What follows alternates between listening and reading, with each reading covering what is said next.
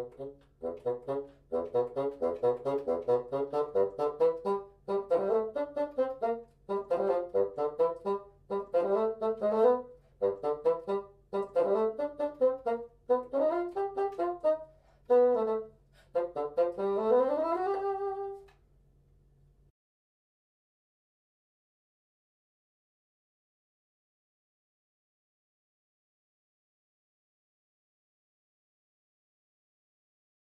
Música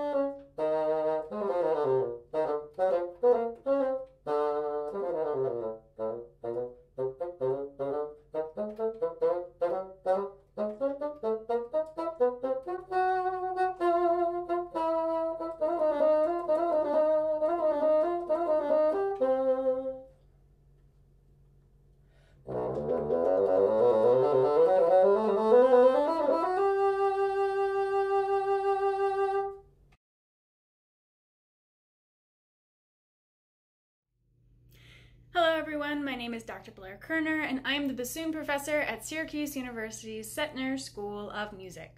So today's topic is called Concert Piece for Bassoon and Strings by Burrill Phillips. This is actually an original bassoon piece that was written in the 1900s. Burrill Phillips was a theorist and composer. He was professor actually Eastman School of Music, my, my alma mater, as well as Juilliard and a few other places. This piece was actually written while he was at Eastman and was uh, published there. So at the bottom you can actually see copyrighted at the Eastman School of Music. So this piece is pretty funky in style. It's probably a little bit different than some of the other repertoire that you've played, and we want to embrace that. So there's three things that we're going to be talking about today. First is that style. So kind of how do you approach this piece stylistically? Two is a rhythm shift that happens halfway through that I want to bring your attention to. And three is all the accidentals. all right, the style.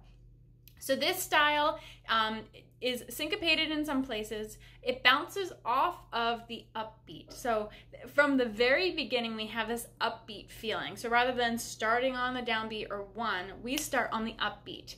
Um, so we have to count that carefully and you have to embrace that so you get that feeling of da ba ba, more of a pickup into the next measure.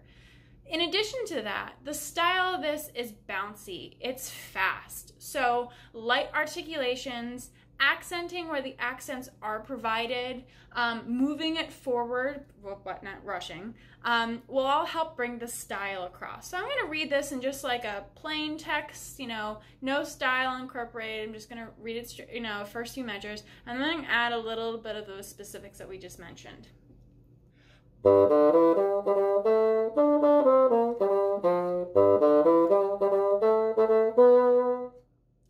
There's a little bit of the rhythm in there that's starting to push you into something I would call a little bit more funky. So embrace that. So think about them as pickups. So ba ba ba ba, leaning into the G at rehearsal number two, adding in the accents, and then also keeping your tonguing nice and crisp.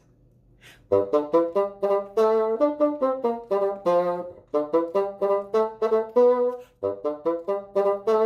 you.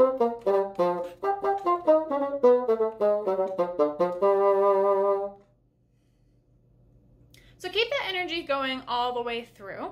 Um, and then when there's the middle section, which is more melodic and beautiful, you can calm down the tonguing a little bit and think more of the longer phrase and add the vibrato. But once you get back into this, definitely bring back that spunkiness. Keep it moving forward, keep the tongue light, add the accents.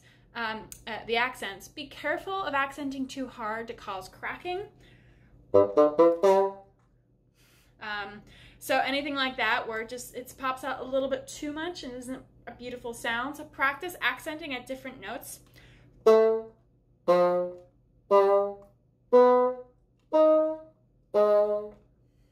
Okay, balancing that out so that it becomes a part of the whole without sticking out too much. So that's a stylistic thing about this.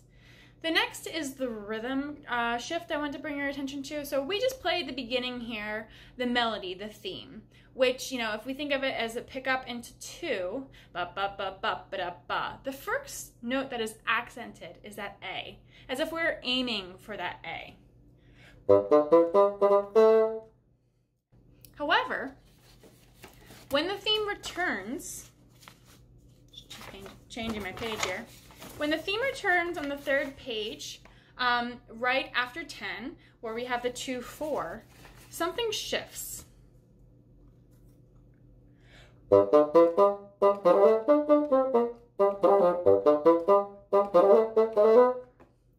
that A that we had before with the accent that originally was on an upbeat is now on a downbeat. So we add in a little extra turn, ba ba da da, and when that happens, it shifts the placement of the A off by an eighth note. Be careful. We've got that theme so ingrained in our head that when we come to this part, we actually might want to try to play it that way, but you can't. So be very mindful that it does purposefully shift. So keep that internal rhythm going. Practice with a metronome so that you can actually play it appropriately. Again,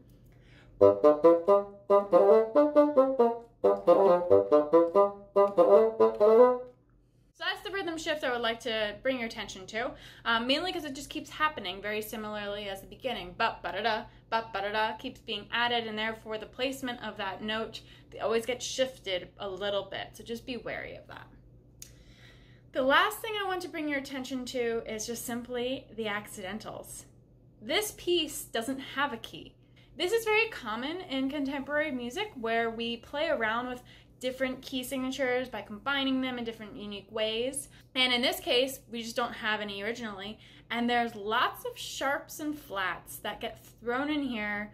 Be very mindful of these notes. Think about when they carry through the measure. So make sure to add them through the measure so that if they are appear again later that you, you do that. Make sure to acknowledge some of the unique different sharps and flats. For instance, on the third page, we have a C flat so think about what that note would be. Um, so you're just going to have to get used to reading a lot of these accidentals um, because they're not in a key signature. We don't have really a key signature for this.